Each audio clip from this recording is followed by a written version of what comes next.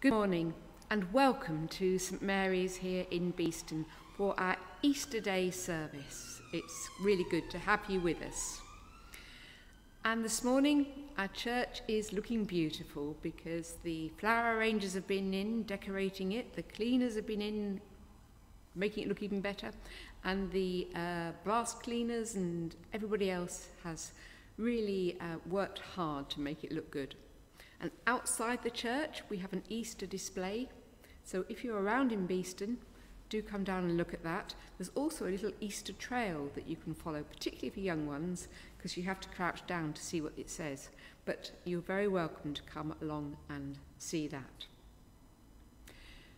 So here we are today in church on Easter Day to celebrate the resurrection of Jesus. And I am joined by some people. I'm not here by myself, which is even better. So I'm just going to turn the camera around to show you who is in church today. Okay, so with me today, I have, I'll turn it all the way around first. So I have, uh, and, and if you'd like to wait, uh, Terry and Jill. Hi. I have um, Alison and Audrey and and Sean. Hello. There we go. And uh, we're not sure who it is going to be listening into this today, but um, do leave your comments and let us know if you're listening in today. And just before we start, I'm going to just show you some of our flowers in church. So you'll be able to see a pedestal. We've not had any flowers in Lent. It's lovely to see flowers in church. Our flower arranger's been busy. We have our flowers here in church. On the pulpit, there is a lovely display. Can you see those? Aren't they beautiful? They look even better further back from the church where you can see them. And they've got these little tiny eggs in them as well, which are lovely. And because we're actually recording this on Saturday evening, we have our Paschal candle stand, but it doesn't have the Paschal candle in it yet. Tomorrow morning it will be lit and processed up the church and placed in the stand.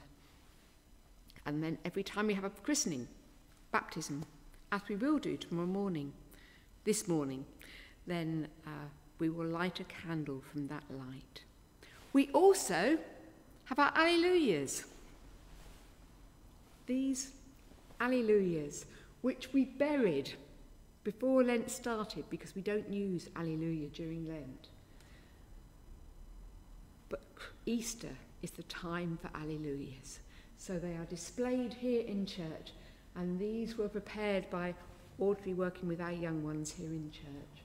So it's lovely to see them, and I hope our young ones will love seeing them too.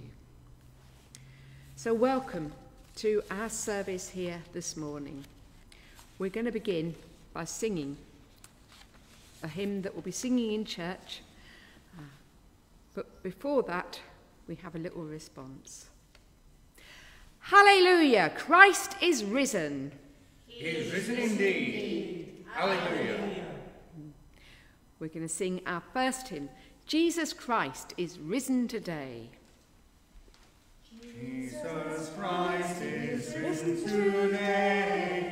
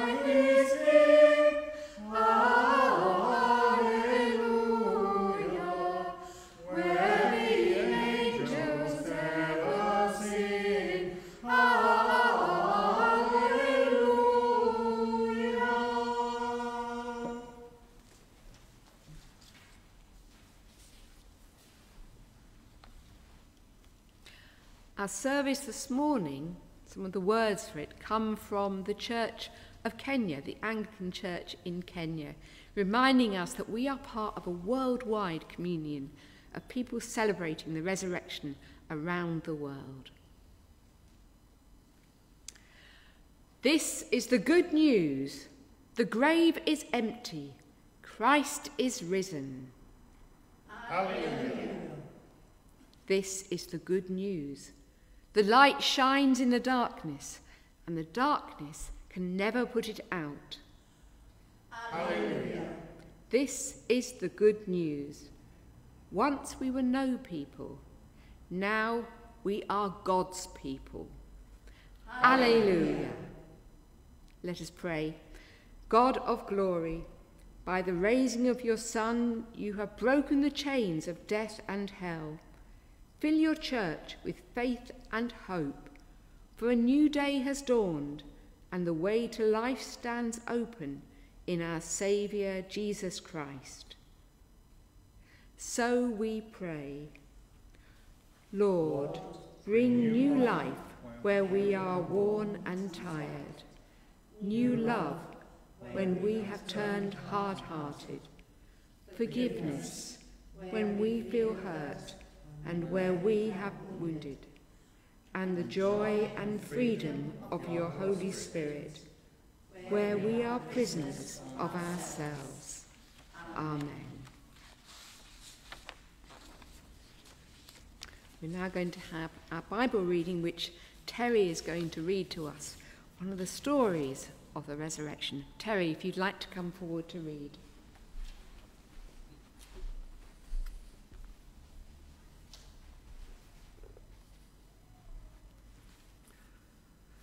Hear the gospel of our Lord Jesus Christ according to Luke. Glory to you, O Lord. On the first day of the week, at early dawn, the women who had accompanied Jesus came to the tomb, taking the spices that they had prepared. They found the stone rolled away from the tomb, but when they went in, they did not find the body.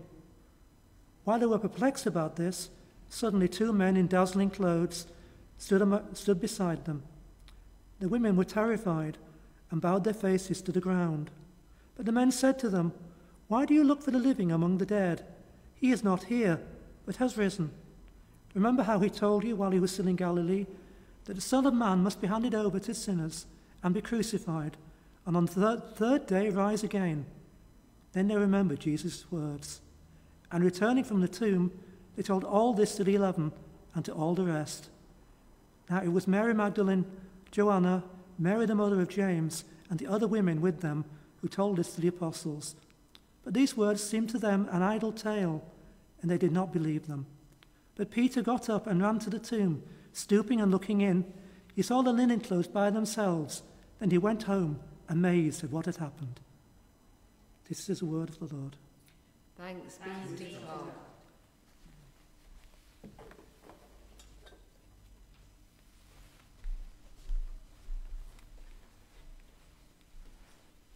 Thank you, Terry. Do sit down.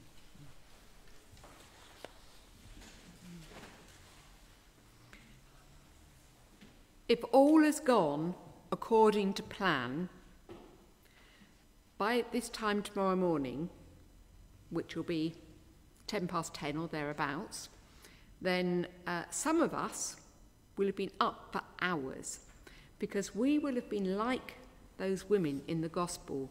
Early in the morning, we would have headed down to Holbeck Cemetery where there will be a little service to uh, celebrate the resurrection, bringing together Christians from across our community here in LS11. Hopefully, I'm expecting that will have happened and we will be using the same service as we're using now. And after that, we'll then come back to the parish centre for breakfast. I'm really sorry you've missed that. Next year, if you're around, don't forget. But there's something very special about picturing ourselves with those women at the beginning, going to the tomb and expecting to find the stone and inside the body of Jesus. and there to do what they can to anoint him with spices and herbs to prepare his body for the burial rituals, which they weren't able to do on Friday because the Sabbath was beginning. Going early in the morning and discovering that something different and new has happened that something totally outside their experience, or indeed our experience since, and that as they are told by the two men, angels, who appear there, Christ has risen. And there begins the next chapter of the story. When I went into Beeston Primary School, it was actually a couple of weeks before Easter, well, I did it on Zoom actually, um, then I said to them that Easter is all about new life. I took him with me. Well, I showed them. I was sort of in there on the computer with them. I took a lamb and a chicken. That's a chicken, believe it or not. And I said about how the world around us has lots of signs of new life. We talked about the spring bulbs and everything. And that Easter is about new life. New life that we can have in Jesus. New life, which is about always having that chance to try again, always having that opportunity to have a fresh start that is just so valuable. And having the hope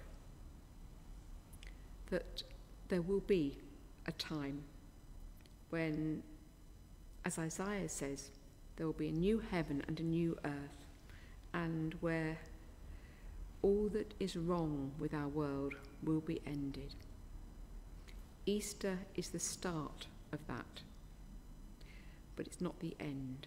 It's the beginning of the season. And God calls us to work with Him to build that new heaven and new earth and to each of us he gives new life. And of course, that's why we have Easter eggs as well, because they're a sign of new life too. So enjoy your Easter eggs if you're having them, and give thanks for the new life of Easter. Amen.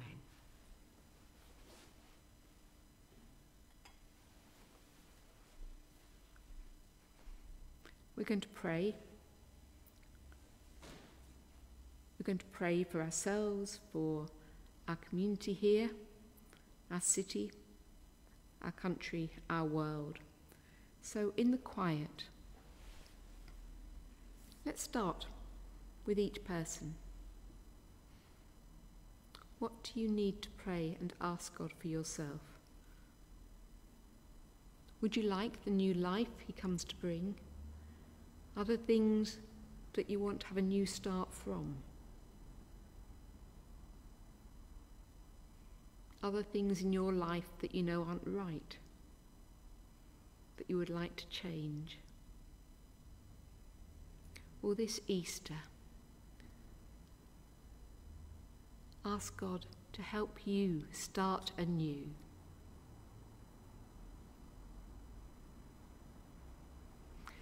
And then are there people that you're worried about?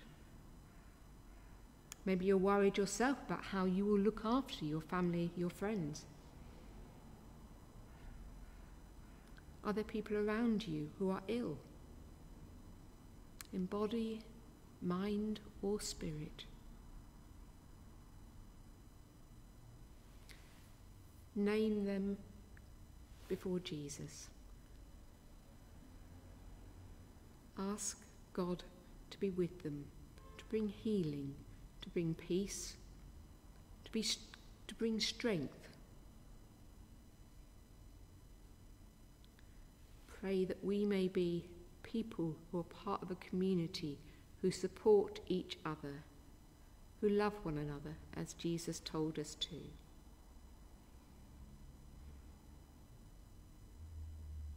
Pray for our city, whole of Leeds, all its different communities Pray for our country.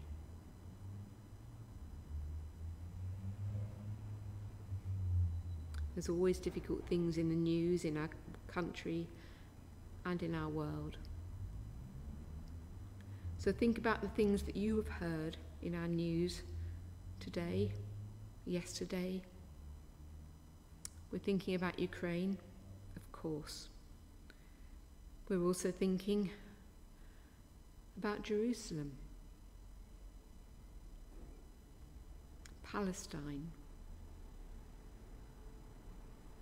and so many other places that we know there are difficulties, but we haven't heard them on the news. All these places we place in God's hands. So, Lord, take our prayers and answer them as may be best. And where we don't have the words to pray, then may you know our concerns and help us to play our part in answering those prayers. Amen.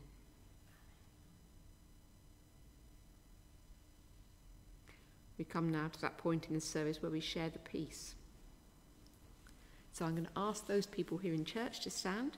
It's up to you at home whether you stand or stay seated or, where, or lying down wherever you are. Christ is our peace, the indestructible peace we now share with each other. The peace of the Lord be also with you. And also with you. So we share peace with each other.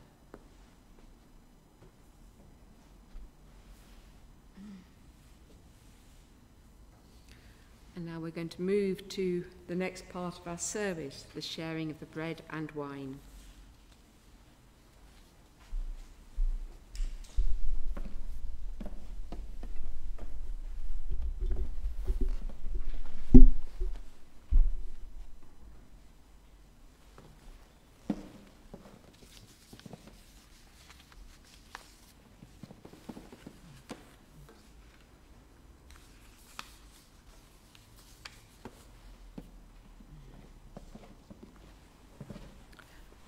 Just move the no, just just move it forward a little. No, but, but lean the top down. Thank you, Sean.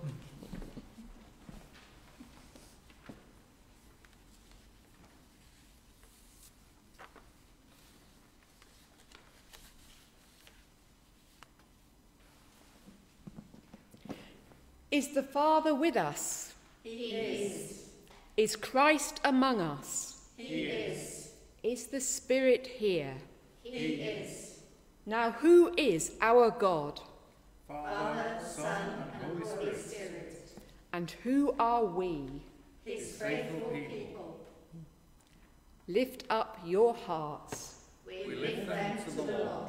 Let us give thanks to the Lord our God. It is right to give thanks and praise. It is our right and our delight to give you thanks and praise, great Father, living God, supreme over the world, creator, allocator, saviour, and giver. From a wandering nomad, you created your family. For a burdened people, you raised up a leader. For a confused nation, you chose a king. For a rebellious crowd, you sent your prophets. In these last days, you sent us your Son, your perfect image, bringing your kingdom, revealing your will, dying, rising, reigning, remaking your people for yourself. Through him you have sent upon us your life giving Spirit, filling us with energy and light. Therefore, with angels and archangels and Christian ancestors in heaven, we proclaim your great and glorious name, forever praising you and saying, Holy, holy, holy Lord, God of power and might, heaven and earth are full of your glory. Hosanna in the highest. Owner of all things, we thank you for giving up your only Son for us, who owe you everything Pour your refreshing spirit on us as we remember him in the way he commanded through these gifts of your creation. On the same night that he was betrayed, he took bread and gave you thanks. He broke it and gave it to his disciples, saying, Take, eat. This is my body which is given for you. Do this in remembrance of me. Amen. His body was broken for us. In the same way, after supper, he took the cup and gave you thanks. He gave it to them, saying, Drink this, all of you. This is my blood of the new covenant, which is shed for you and for many for the forgiveness of sins. Do this as often as you drink it, in remembrance of me. Amen. We are brothers and sisters through his blood. We have died together. We will rise together. We will live together. Therefore, Heavenly Father, hear us as we celebrate this covenant with joy and await the coming of our brother. He died in our place, making a full atonement for the sins of the whole world, the perfect sacrifice once and for all. You accepted his offering by raising him from death and granting him great honour at your right hand on high. Amen. Jesus is Lord. This is the feast of victory. The Lamb who was slain has begun his reign. Hallelujah. And so we come to the Lord's Prayer. And I invite you all to use the form of the Lord's Prayer that you are most comfortable with. Our Father in heaven, hallowed be your name. Your kingdom come, your will be done, on earth as in heaven. Give us today our daily bread. Forgive us our sins, as we forgive those who sin against us Lead us not into temptation, but deliver us from evil. For the kingdom, the power, and the glory are yours, now and forever. Amen.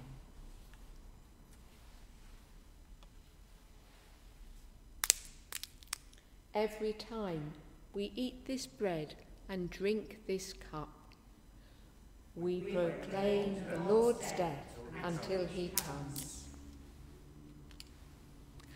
Alleluia. Christ our Passover is sacrificed for us. Therefore let us keep the feast.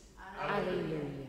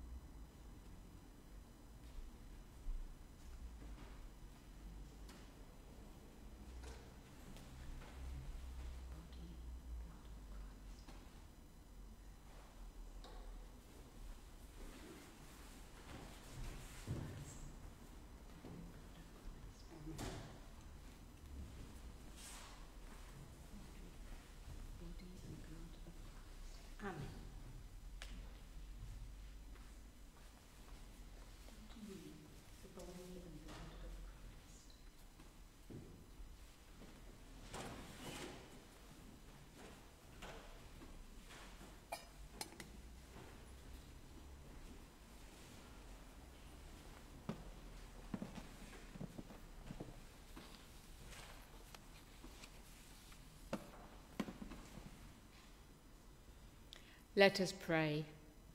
we say together Loving God, you have fed us generously at this table as we have remembered Jesus and rejoiced that he is with us today.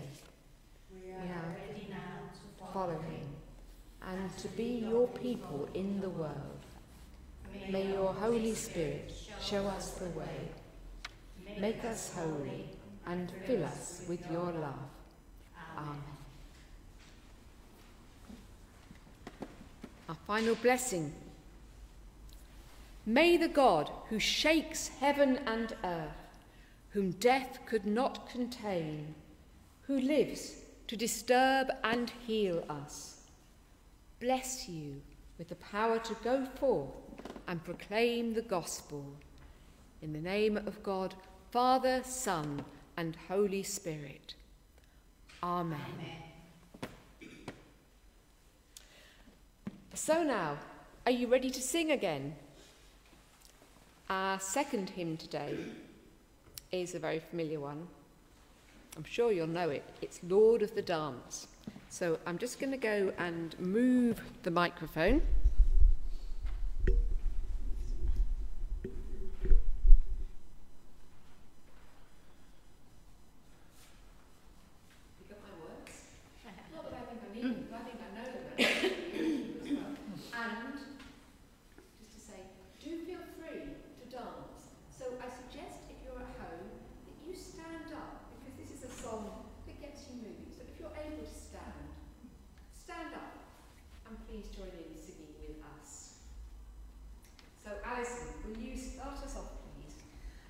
danced in the morning when the world was begun, and I danced in the moon and the stars and the sun, and I came down from heaven and I danced on the earth. At Bethlehem I had my birth.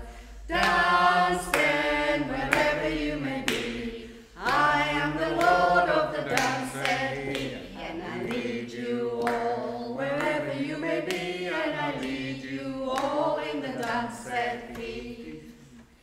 I danced for the scribe and the Pharisee, but they would not dance and they wouldn't follow me.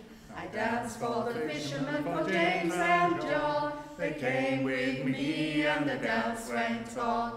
Dance then wherever you may be. I am the Lord of the dance, said he, and I lead you all wherever you may be, and I lead you all in the dance, said he. I danced on the Sabbath and I killed the lame. The holy people, said it was a shame. They whipped and they stripped and they hung me on high and left me there on the cross to die. Dance then wherever you may be. I am the Lord of the dance,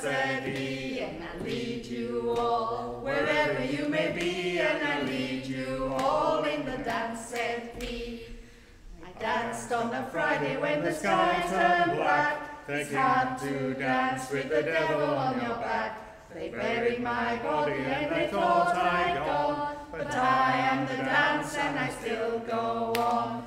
Dance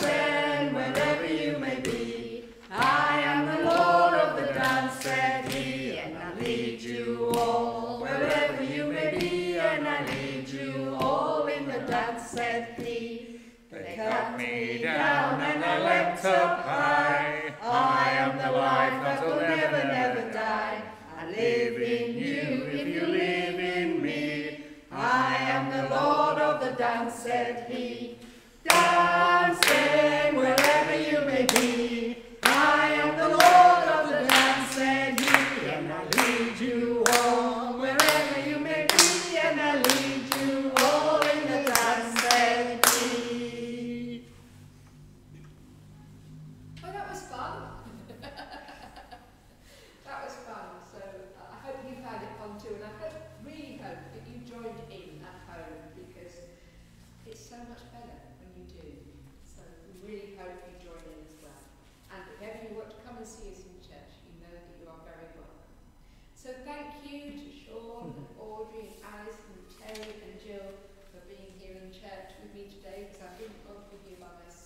singled out anybody else.